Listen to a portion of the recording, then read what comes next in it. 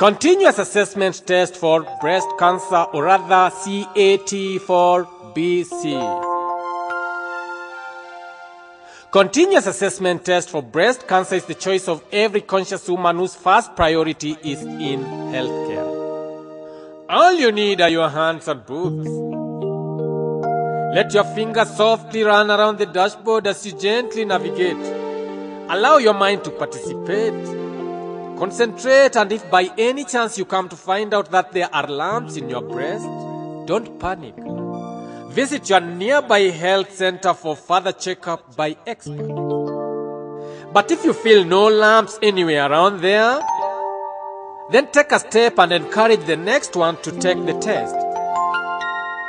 Wishing you the best of luck out of your CAT for BC, continuous assessment test for breast cancer.